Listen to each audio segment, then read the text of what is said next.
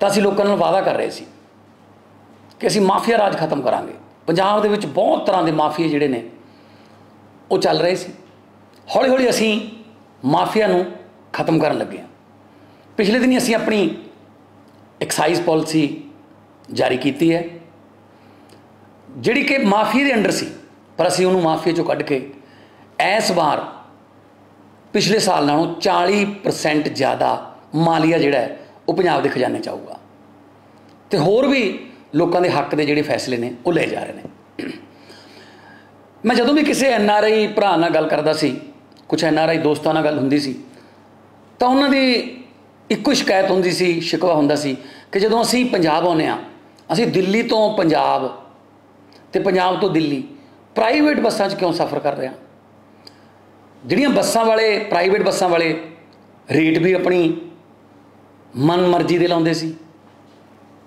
ਕਿਉਂ ਨਾ ਉਹਨਾਂ ਦੀਆਂ ਮਨਮਾਨੀਆਂ ਖਤਮ ਕੀਤੀਆਂ ਜਾਣ। ਅਸੀਂ ਵਾਅਦਾ ਕੀਤਾ ਸੀ ਕਿ ਸਾਡੀ ਸਰਕਾਰ ਬਣਨ ਤੇ ਇਹ ਜਿਹੜਾ ਬੱਸ ਮਾਫੀਆ ਪੈਦਾ ਹੋ ਗਿਆ ਸੀ, ਇਹਨੂੰ ਵੀ ਖਤਮ ਕਰਾਂਗੇ। ਤੇ ਅਸੀਂ ਇਹ ਤੇ ਕੰਮ ਕਰਨਾ ਸ਼ੁਰੂ ਕੀਤਾ। ਮੈਨੂੰ ਅੱਜ ਦੱਸਦਿਆਂ ਬੜੀ ਖੁਸ਼ੀ ਹੋ ਰਹੀ ਹੈ ਕਿ ਪੰਜਾਬ ਸਰਕਾਰ ਵੱਲੋਂ 15 ਜੂਨ ਨੂੰ ਪੰਜਾਬ ਤੋਂ ਦਿੱਲੀ ਹਵਾਈ ਅੱਡਾ ਤੇ ਦਿੱਲੀ ਹਵਾਈ ਅੱਡੇ ਤੋਂ ਪੰਜਾਬ ਲਈ ਵੋਲਵੋ ਬੱਸਾਂ ਸ਼ੁਰੂ ਹੋ ਰਹੀਆਂ ਨੇ। ਬਹੁਤ ਸ਼ਾਨਦਾਰ ਬੱਸਾਂ ਨੇ।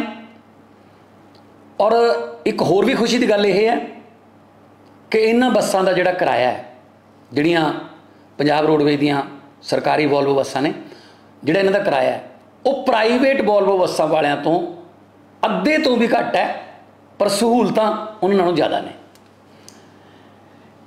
ਇਹਨਾਂ ਬੱਸਾਂ ਦੇ ਵਿੱਚ ਆਪਣੀ ਬੁਕਿੰਗ ਕਰਾਉਣ ਲਈ ਤੁਸੀਂ ਪੰਜਾਬ ਰੋਡਵੇਜ਼ .gov.in panbus.com ਜਾਂ ਪੈਪਸੂ ਆਨਲਾਈਨ ਇਹਨਾਂ ਵੈਬਸਾਈਟਾਂ ਤੇ ਜਾ ਕੇ ਤੁਸੀਂ ਆਪਣੀ ਬੁਕਿੰਗ ਕਰਾ ਸਕਦੇ ਹੋ।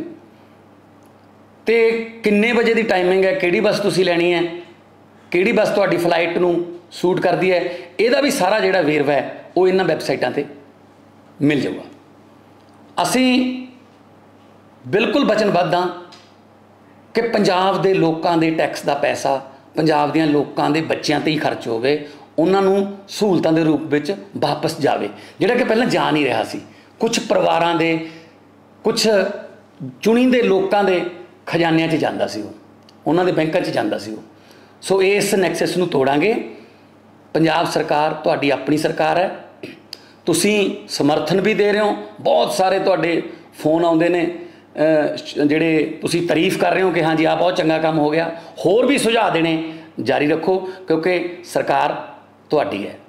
ਆਪਾਂ ਪੰਜਾਬ ਨੂੰ ਦੁਬਾਰੇ ਪੰਜਾਬ ਤੇ ਹੱਸਦਾ ਖੇਡਦਾ ਰੰਗਲਾ ਪੰਜਾਬ ਬਣਾਵਾਂਗੇ। ਇਨਕਲਾਬ ਜ਼ਿੰਦਾਬਾਦ।